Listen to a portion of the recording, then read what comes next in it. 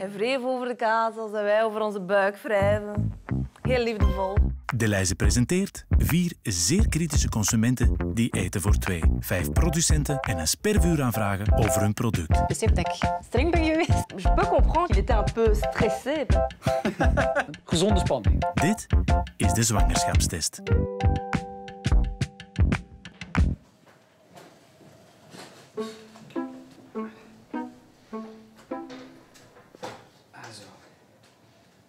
Goeiedag.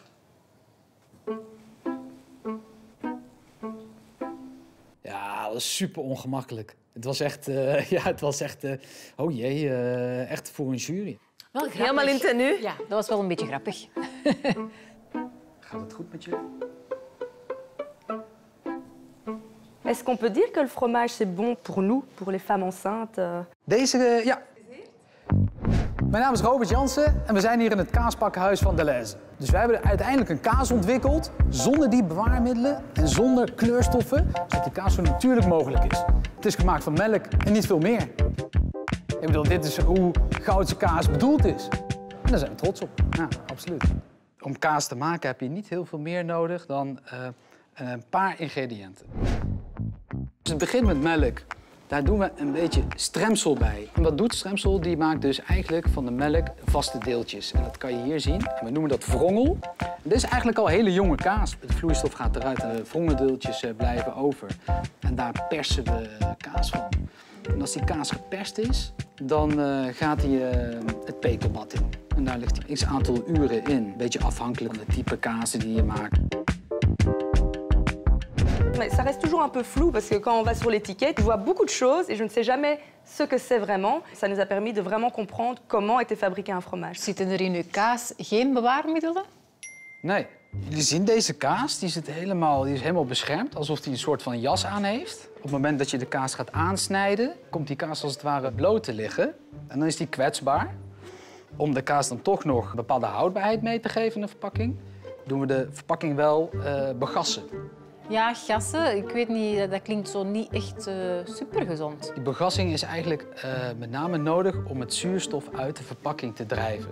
En zuurstof is eigenlijk heel goed voor bacteriën om zich te ontwikkelen. Die gassamenstelling doet eigenlijk verder helemaal niets met het product zelf. En dat is ook bewezen en onderzocht. Dus daarover hoeft u zich zeker geen zorgen te maken. Oké. Je kunt Google opzoeken, maar altijd leuk als iemand u dat gewoon even kan vertellen. Et est-ce qu'on peut manger la croûte de votre fromage Eh, het is niet lekker. Dus eh, wat dat betreft zou ik het niet adviseren om het op te eten. Dus ik zou dat jasje lekker uitdoen en het binnenste lekker opeten. Votre fromage, il est, euh, il est vraiment pasteurisé, donc on peut vraiment vous faire confiance. On peut en manger, il n'y a pas de risque. Quoi. Ja, de melk is gepasteuriseerd. Ok, super. Bij deze type kaas persen we de, het vocht eruit, waardoor de kaas ook wat harder is. En juist het vocht in de kaas brengt een extra risico mee op bepaalde bacteriën die dus heel schadelijk kunnen zijn Ja. voor het kindje. Et euh, le lait que vous utilisez pour faire le fromage, il vient d'où Van de koe. Euh, Ja, oké. Niet- De boer die de koeien houdt, melk levert met de claim weidemelk. We moeten eigenlijk voor zorgen dat die koeien minimaal 120 dagen per jaar in de weide staan. En dan minimaal 6 uur per dag. En voor de rest vooral heel veel liefde. Wat dat betreft is het net als een kindje eh grootbrengen. Hij wreef over de kaas als wij over onze buik wrijven. Heel liefdevol. Vous avez des enfants Ik heb er één kindje. Eet uw zoontje ook kaas? Ja, dat probeer ik wel ook te stimuleren. Hij vindt het wel lekker. Ja. Met name jonge kaas. Kinderen vinden jonge kaas lekker. Is niet zo heel straf qua smaak. Zouden we zelfs een stukje mogen proeven? Altijd. Ik doe het eventjes hier. Ja, leuk. Aha. Et donc ce fromage, il a combien de mois Deze voor Delhaize doen we op eh, zes weken. De oude kaas, gewoon eventjes om te vergelijken met een jaar. Dan heb je ook nog overjarig brokkel, noemen we dat. Dat is een hele oude kaas. Als je daar Ça, c'est pour les hommes, quoi. ja, een, een hamer en een bijtel in zetten, laten we zeggen, dan brokkelt die uit elkaar. Een heel straf kaasje. Dat begint een beetje tussen anderhalf jaar tot drie jaar oud. Ja. Oh, dat wat.